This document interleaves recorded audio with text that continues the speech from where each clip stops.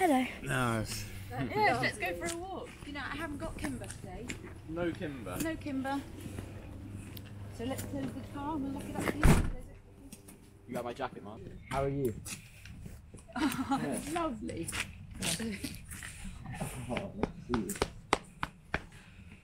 Hello. Luke. Can I have a kiss?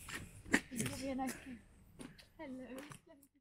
I'm probably going to say what lots of people who ended up in this rare dementia journey are going to say. Um, the first signs were me questioning myself, which is I was uh, mid 40s and I had a husband who was five years older, just turning 50, and things were just not quite right, but I couldn't put my finger on it. But I started looking inwards to myself, thinking, have I really changed that much? What's happening? Is it too good to be true? I want this so much, but don't know if I can trust you.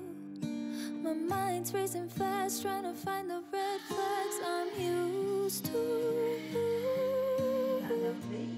All these green lights, are they coming too soon? Caught between red and the green, and you.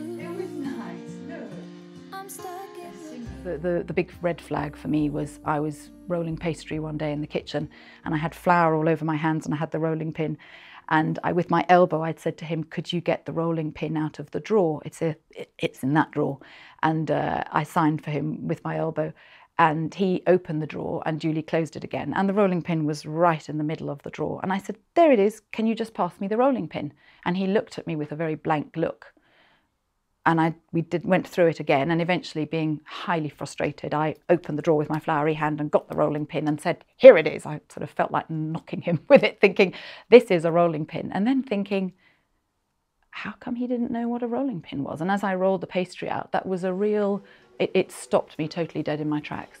In hindsight now that I know more about frontotemporal dementia and I've had the support particularly from London which is where the expertise is I have found that um, insight and awareness is something that doesn't affect everybody with these rare dementias, but it does affect some of them.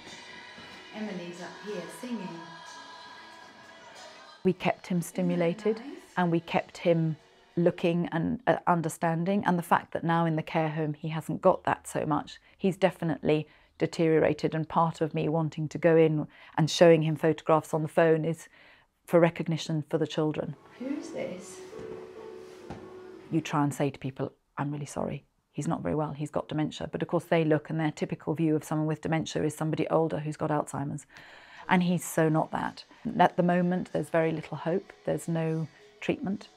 It's degenerative, it's progressive, and there is absolutely no dignity in the final stages. The support that I've seeked out, and I've had to seek it, um, has been phenomenal uh, when it's been there, and it's been very, very specialist. And I have to say, I hold on to it like gold dust. We just need more of it because it's it's there aren't enough people supporting the amount of people that are in this country.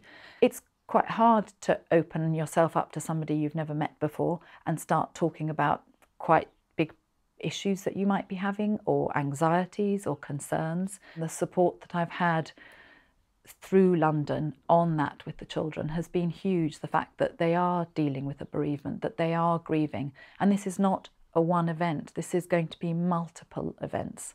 Um, and I've really needed that support to try and be the supporting mother that I'm trying to, to be all the time. I'm